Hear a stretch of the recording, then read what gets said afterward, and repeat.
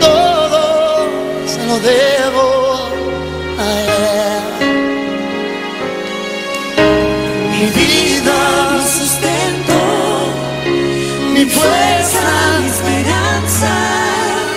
Todo se lo debo.